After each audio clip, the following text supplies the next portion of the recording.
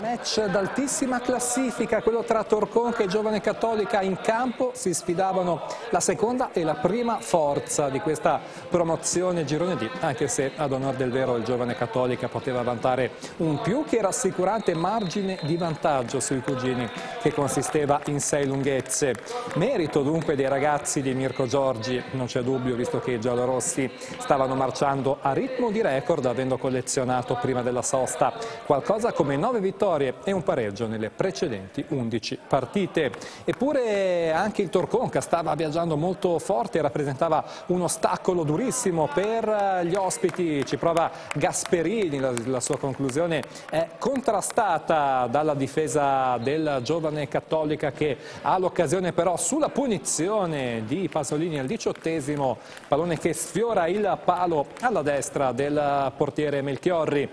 Un primo tempo molto tattico, eh, si spegne così sullo 0-0, molto più scoppiettante l'inizio della ripresa. Al secondo minuto c'è Cristofano atterrato in area di rigore, arriva la segnalazione del direttore di gara, è penalty dunque per i padroni di casa che subiscono anche la munizione per Casolla. Dal dischetto si presenta Fedeli, Fedeli contro Andreani dunque per la possibile, mm, la possibile possibile trasformazione che arriva per il Torconca. 1 a 0 vantaggio per la squadra di Filippo Vergoni e possibilità dunque di accorciare la classifica del campionato di promozione servita su un piatto d'argento anche se arriva la reazione del giovane cattolica. C'è un campanile alzato l'uscita di Melchiorri come può alla fine il, arriva il calcio di punizione segnalato perché Melchiorri ha toccato il pallone secondo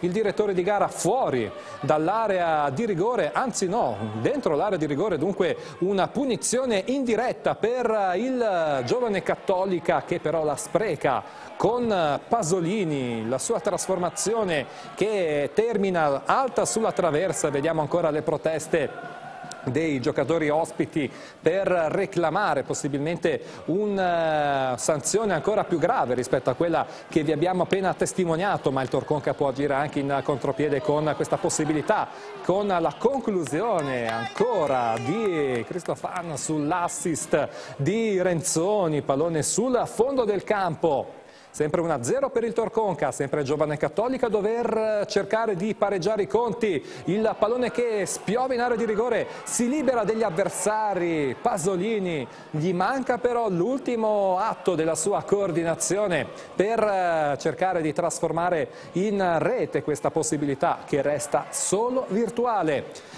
Ultimi dieci minuti ancora in attacco il giovane Cattolica calcio d'angolo, la palla che spiove, un nugolo di gambe alla fine, la deviazione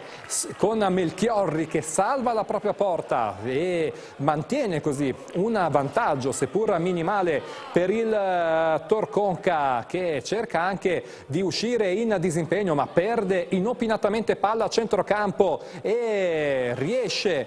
toccando forse anche il pallone con, un, con le mani la Cattolica portarsi in attacco ed è l'occasione vincente per Pasolini che scavalca il portiere Melchiorri e trova 5 minuti dalla fine. Il pareggio che sicuramente sarà contestato per una possibile irregolarità all'inizio dell'azione ma fatto sta che è un pareggio pesantissimo e come vediamo festeggiato anche dai tifosi ospiti con eh, grande enfasi. Pareggio per 1 a 1 tra Torconca e Giovane Cattolica in un match sicuramente dagli alti contenuti agonistici.